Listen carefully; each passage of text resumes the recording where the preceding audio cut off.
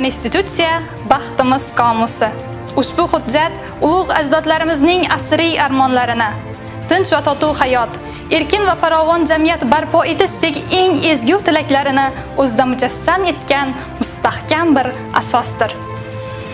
Bosh qomusimiz bugungi yangi O'zbekistonda kuchli davlatdan kuchli fuqarolik jamiyatiga o'tishdagi mustahkam bir poydevor vazifasini o'tamoqda. O'zbekiston Respublikasida barcha fuqarolar bir xil huquq va erkinliklarga ega bo'lib, jinsi, irqi, millati, tili, dini, shaxsiy va ijtimoiy mavqeidan qat'iy nazar qonun oldida tengdirlar. Imtiyozlar faqatgina qonun oldida belgilangan bo'lib qo'yiladi hamda ijtimoiy adolat prinsiplariga mos bo'lishi shart. Fuqarolar O'zbekiston xalqining tarixiy, ma'naviy va madaniy yodgorliklarini asrab avaylashga majburdirlar. Madaniyat yodgorliklari davlat muhofazasidadir.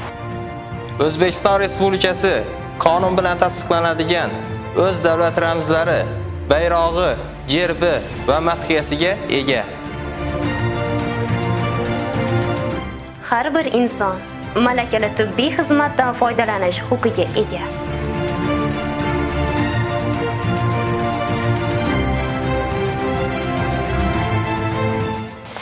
Bitik yo'ling kurashdir yiroq.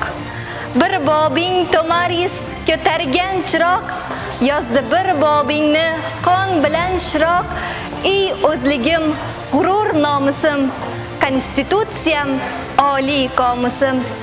Sening manziling ko'zlagan karvon, G'aznaviy, Temuriy, Boburiy davron, bu karvon boshida Navoiy sarbon, o'zligim, g'urur nomusim, konstitutsiyam.